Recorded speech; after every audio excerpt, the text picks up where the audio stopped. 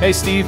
Hey Ed, that sounds nice. What is it? Thank you. It's uh, it's an alphabet song I'm working on. Oh, great, a whole new alphabet. I just learned the old one.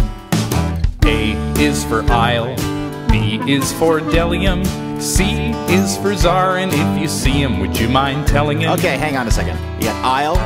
Yeah, delium. aisle like a like a theater. Uh, right. Okay, and then delium, Delium. It's a it's a gum-like tree resin. It starts with a silent B. and then czar.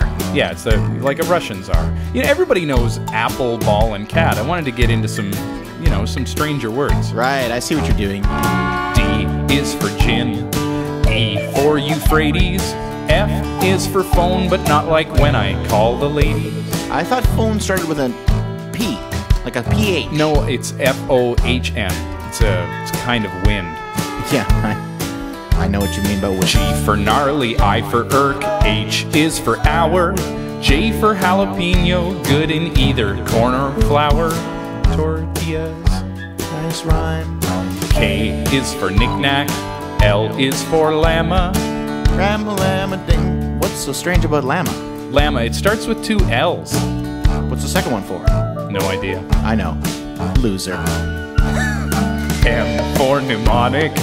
N is for Gomo. O is for Ouija board. P for pneumonia, pterodactyl, and psychosis. Q is for cat. Okay. Q. Cat. What?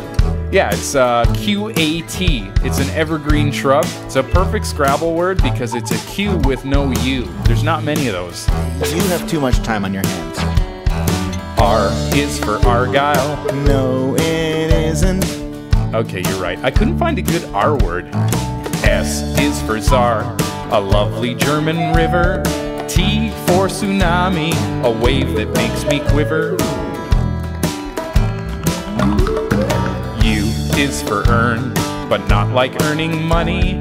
V for raison blancs from French and therefore kind of funny. W for Ren, wrinkly and who. X is for Xi'an, an ancient Chinese city. True. Ancient Chinese city, huh?